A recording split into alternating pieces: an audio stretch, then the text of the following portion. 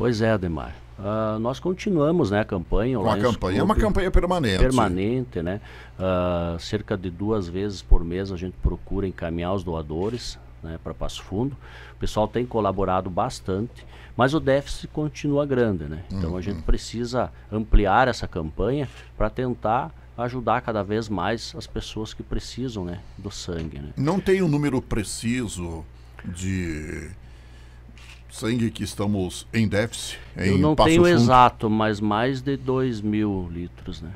Mais de 2 mil é, litros. É bastante. É bastante. Ah, é bastante. 2 mil bolsas, né? Seria. É bolsas. É, então, por isso que nós buscamos aí a parceria, que a gente sempre teve o apoio do Cicred, né? E nesse final de semana agora, então, o Banco Cicred vai proporcionar aí o, o apoio com os doadores de sangue os funcionários deles, né? Nós fizemos a parceria aí nesse fim de semana, então eles irão a Passo Fundo. Vai ser no, como o Hemopasso é fechado no sábado, vai ser no Hospital São Vicente de Paulo a doação. Ah, sim, vai ser lá no Hospital São Vicente. São Vicente de Paulo. Uhum. Como é que é essa parceria aí, Enio? Nós já estamos próximos do Lions uh, nessa atividade do, da doação de sangue já há muito tempo. Nós fizemos um apoio a uma ação que foi feita já, uh, acredito que há um ano atrás, uh, incentivo financeiro, enfim, uh, também na divulgação.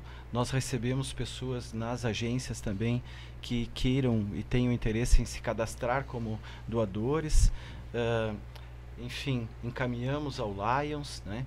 E nesse especificamente essa turma, que são 20 pessoas que irão até Passo Fundo amanhã, como o Marcos estava comentando, para doação de sangue, ela essa ação ela faz parte de cinco atividades que uh, foram que nasceram, enfim, a partir do dia C de cooperar.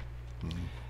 No dia 2 de julho nós comemoramos, né, o Dia Internacional do Cooperativismo, e a partir daí, dessa data, as cooperativas uh, elegem ações nas suas comunidades uh, de voluntariado. Né? E as, as agências aqui da Lagoa Vermelha e Capão Bonito do Sul criaram, construíram cinco ações a partir desse, desse dia C, o dia C de cooperar. E uma delas, algumas a gente já, uh, já iniciou e findou, depois eu posso uh, trazer um pouquinho delas. E uma delas, então, é o incentivo e a participação nas doações de sangue. Para que isso também não seja uma única vez e se torne um hábito né, nessa isso. boa ação nossa, dos colaboradores, alguns associados que também vieram, familiares que também se engajaram.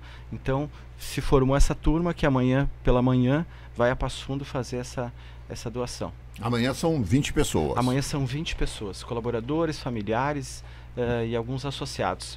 E isso, para que isso se torne permanente, né? Que se torne Exato. um hábito nosso, né? Eh, de solidariedade, enfim, de voluntariado para, como o Marcos falou, tem um déficit uh, quando se precisa é, é sempre caso de urgência, então. Verdade. É, e que para isso também, eu não vou dizer que a gente é exemplo, mas que isso incentive outras pessoas a fazerem o mesmo, né, Ademar? Isso é importante para o nosso dia a dia, para nossa convivência.